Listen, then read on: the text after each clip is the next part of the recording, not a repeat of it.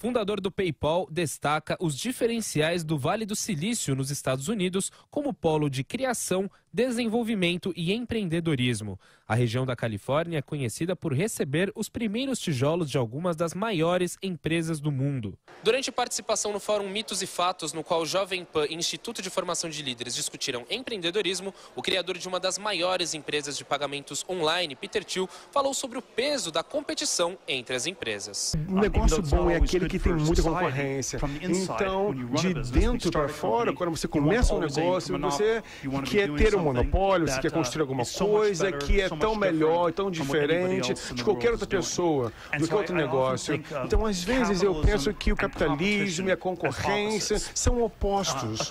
Então, capitalistas querem acumular dinheiro e, que, e um, um mundo de perfeita concorrência é um mundo onde todos podem competir uns com os outros.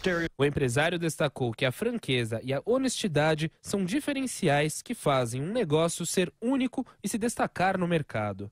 Peter Thiel comentou sobre os desafios enfrentados pelas economias emergentes para promover o empreendedorismo. Nos últimos 200 anos, é, para existem vários booms separados que aconteceram na América Latina e em cada momento é, que ah, o nome Brasil foi falado era de forma positiva. Então, você pensar na América Latina, o Brasil sempre foi o top da América Latina e isso aconteceu em 2008, 2010, 2011. Então, sempre há muito otimismo sobre o Brasil e cada momento que existe um grande otimismo, então às vezes se perde um pouco no que diz respeito ao otimismo para o Brasil. Peter Thiel acredita que países como o Brasil precisam dedicar as energias na resolução dos problemas concretos, deixando de lado as abstrações.